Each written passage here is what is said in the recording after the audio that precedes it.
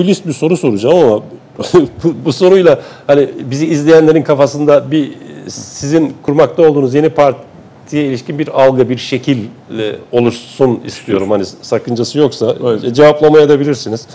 E, mesela şimdi sayacağım liderlerden hangisini kendinize model olarak ya da yakın görüyorsunuz? İşte biz şu lider gibi oluruz ya da bizim siyasi biz şu lider gibi bizim partimiz şu lider gibi siyaset güder Türkiye'ye bakar diyorsunuz dediğiniz var mı? Ee, mesela e, Sayın Alparslan Türkeş rahmetli. Ee, Sayın Süleyman Demirel, Sayın Necmettin Erbakan, Sayın Turgut Özal, Sayın Bülent Ecevit, Sayın İsmet İnönü, Sayın Adnan Menderes. Evet.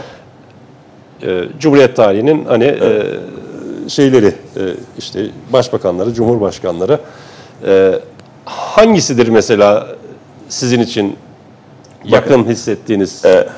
Biz ona benzeriz. Bizim partimizde siyaset yapacakların hepsinin kendilerini yakın hissettikleri bir siyasi lider Mustafa Kemal Atatürk'tür.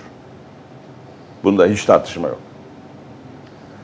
Ee, ikincisi yine bizim partimizde siyaset yapanların, partimize oy vereceklerin hepsi Mustafa Kemal Atatürk'ü kendilerine idol olarak benimsedikten sonra bir bölümü rahmetli Türkeş'i, bir bölümü rahmetli Menderes'i, Demirel'i, Özal'ı, bir bölümü rahmetli Ecevit'i kendisine daha yakın hissedebilir. Bunda hiçbir sorun yok.